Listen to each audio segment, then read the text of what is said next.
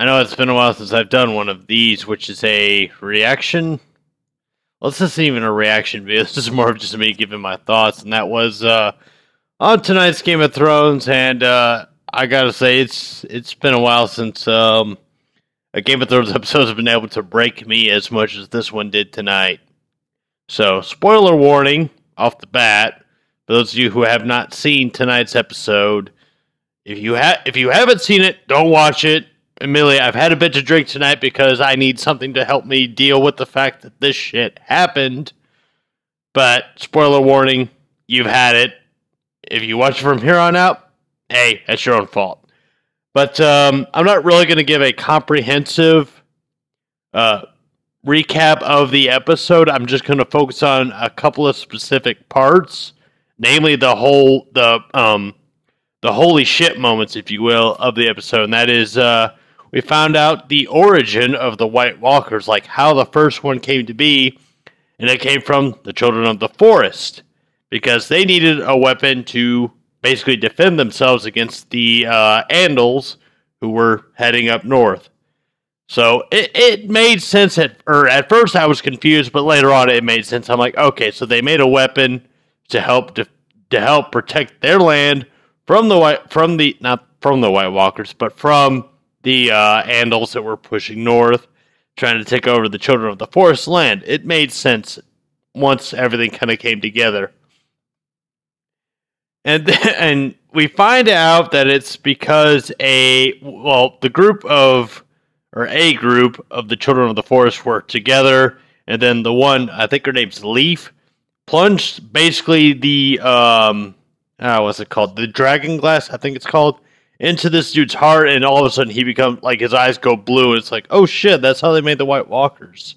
So I'm I'm assuming we'll get more information on that later. If not, it it, it at least explains how the White Walkers came to be. Um, but yeah, I mean, I was uh, like, wait, what now? And now what I was expecting was for the uh, three-eyed raven to be the Night's King. I was expecting that to happen, but that didn't fucking happen. Instead, what happened was Bran kind of like wakes out or wakes up from like a dream or, from sleeping or whatever. Everybody else kind of still dozes off doing their own thing. And then he touches like a root, and then he ends up in the middle of like this army of the dead, like just this big fucking army of whites that are just standing there, you know, hanging around, not doing anything. And then he walks through them, kind of maneuvers through them, and then he sees the Night's King and three other uh, White Walkers, and it seems like the Night's King is like able to actually see him. And then Bran turns around, and all the fucking whites are turned, and they are facing him. So he's like, um, shit. Then he turns around again, and the Night's King is like, oh, hey there, buddy. Grabs his arm. He's like, no, get your hands off me, you damn white, ugly thing. And Bran wakes up and is like, uh, I, what? And the Three-eyed Raven's like, uh, shit. Uh, yeah, he knows you're here. So you and your group of people need to get the fuck out of here now because we are no longer safe. And so they're all trying to do their escape, and God, God damn it, another fucking direwolf died. Summer died.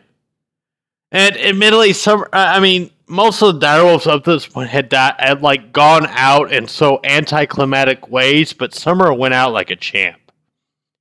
And I want to say that Shaggydog was a red herring because of the size of the wolf head that uh, Smalljon Umber brought in. I want to say that's a fucking red herring, and that it's just it's goading us into thinking, God damn it, all the wolves keep dying. What the fuck? I have to say, Shaggydog is still alive and kicking. We just don't know it yet. And at some point in this season, he's gonna pop out and fucking bite fucking Ramsay Bolton's balls off. I don't know if it'll go down like that, and this could be in now, but I do believe that Shaggydog is alive. Um, but I'm still waiting, you know, the bastard bull. Now, um, so Summer goes down like a champ, just trying to keep Bran safe, and it that teared me up right there. I was like, God damn it, not another fucking direwolf dying. God fucking hell. Next thing you know, we're gonna have at least one of the dragons die before the fucking series finale. So they try to escape, and the dire wolf, or not the dire wolves, the uh, children of the forest, they try their damnness to keep the White Walkers and the Whites at bay, but it just doesn't pan out because you know the White Walkers they can just like, oh yeah, fly or fire. Oh, that's cute. Let me just walk right on through this. Oh yeah, what now? So the children of the forest they desperately try to keep the Whites out. The Whites go around this like firewall that they built. So it's kind of like a virus that's trying to work its way around your fucking firewall. So they like start clawing at the uh, roof of this cave that they're in, and they actually get through.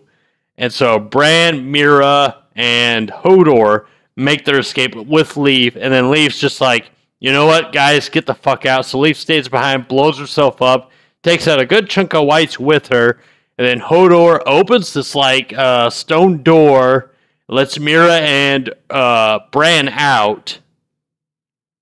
And then he closes the door and stays behind, and the Meera's like, hold the door.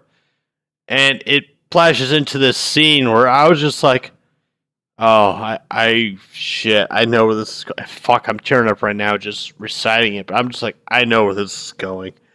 I, I fucking know where this is going, and the episode's called The Door for a reason.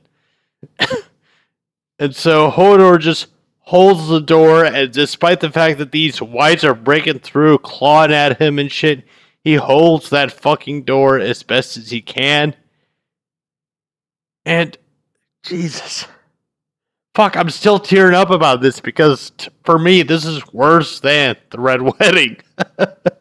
this was so much worse than anything I've seen in Game of Thrones. Normally, I haven't really teared up at a Game of Thrones episode, and I would have my face cam on right now, but uh, because of the lighting and because of the fact this is fucking uh, what time am I recording this? Uh, midnight, more or less. Yeah, the lighting's just not good. I was like, yeah, you won't get a good uh, idea of how I am, but right now, I mean, I got tears coming down my eyes. oh my god. Uh, so Hodor holds the fucking door. Oh man, it's it's been a while since fucking TV's been able to make me like ball out like this. But Hodor he holds that fucking door, and Bran and Meera make their escape. And oh fuck me. Oh god damn, it, this is hard to do. I can, I mean, look, don't get me wrong. The Red Wedding, it, it shocked me, but it shocked me in a way that it just left me speechless. Like, what the fuck just happened? What just happened? This one left me like, I just don't want to live anymore. I mean, not literally, but I was just like, God, you know, I need a break. I need a breather. I need to like go outside, get some fresh air. Just God damn it. I'm laughing and crying at the same time, so it's fucking weird. Um, oh, lordy. Fuck, I still can't get over the fact that, you know, it's just a TV show. Don't get me wrong. I'm not like, oh my god, I'm gonna lose sleep over this. It's it's more like, oh shit, Hodor, fucking champion. I think I've lost my mind because of this episode. All right. All right, so I figured you guys got it. Like, I you know, I collectively just bawled my eyes out at this scene. that was what I was trying to convey, is because I can't do it on camera. I really wanted to, but I couldn't because of the lighting and the fact that how many bulbs? Yeah, we're two out of four bulbs down, and my cat just like bolted across. Speaking of which, my other cat's not feeling too good. He's just kind of like sheltering himself, like, I'm not feeling well. Could you just fuck off, please? But, uh, yeah, hopefully I won't tear up again, but holy shit, this is really, this, this was a very hard video to do because of just the emotional response that this episode got out of me. I'm trying to laugh just to prevent myself from bawling out even further because God damn. Ah, we learned so much in this episode, and yet I'm still bawling my eyes out.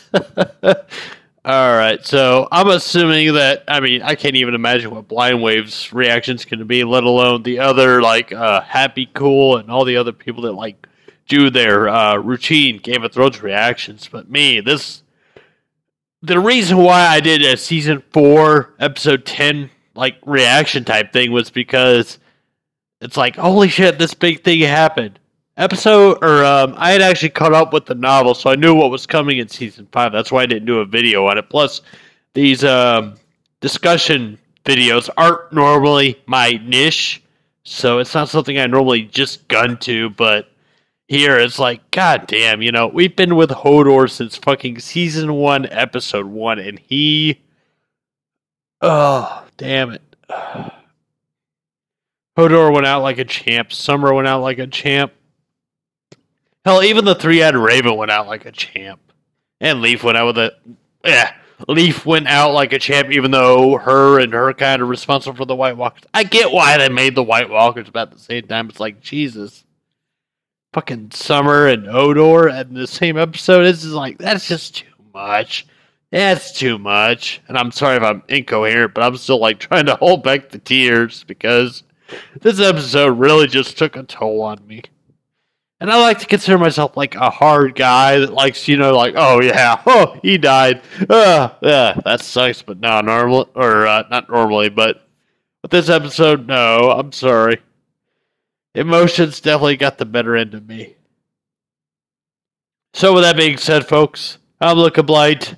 Hopefully, I'll see you in happier times. Hopefully, we'll see you, Ramsay Bolt. Well, actually, I'm 90% certain that Ramsay Bolt's going to die this season, but hopefully next episode we could say, you know, some some people that fucking deserved it died, as opposed to just fuck it this episode. fuck this episode for what it did to me, but at the same time, I love this episode because it was a very emotional episode that did a lot and explained a lot. And at the same time, it makes me want to do it some more. So this season so far, from start to finish, or from start to episode, I think this was five so far I've been a okay with it. Now episode one, eh, it was okay. It was more of a recap of what happened at the end of season five. But yeah, besides that, two through five so far, thumbs up, all A's for me. So let me know what you guys thought. Um, did Hodor's death just fucking depress the fuck out of you at least for an hour like it did me, or in this case two to or no three hours, which I'm still fucking teary eyed over it. Let me know what you guys thought. Um, I'm gonna try to get some sleep now because I could use some fucking sleep just to try to like, all right, think of happy things. Think of happy things. You know, like think of Jon and Sansa uniting the North and taking out Ramsay, and then everything else is all happy and dandelions, and yeah, it's fucking bullshit. But just try to pretend that this shit will happen.